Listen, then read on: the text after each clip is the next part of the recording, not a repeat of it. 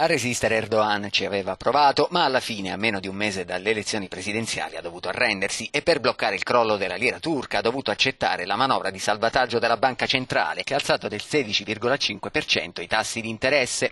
Una manovra necessaria dal momento che soltanto nell'ultimo mese la lira aveva perso il 19% rispetto al dollaro.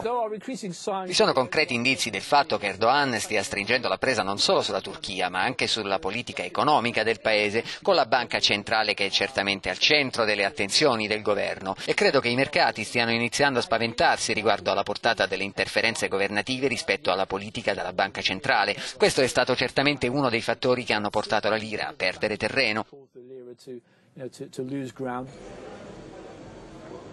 In Turchia in effetti sono in molti a ritenere che le stesse elezioni di giugno siano state indette in anticipo per capitalizzare la popolarità di Erdogan prima dell'esplosione della crisi economica, ma in questo senso probabilmente è già troppo tardi.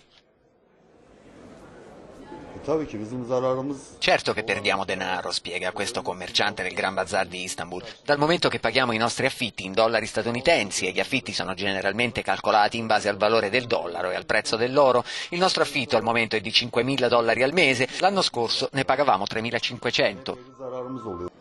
L'intervento della banca centrale in realtà potrebbe non essere sufficiente a bloccare la caduta libera della lira, che ha ripreso a perdere valore dopo un sollievo iniziale. Secondo gli esperti, purtroppo, il peggio deve ancora arrivare.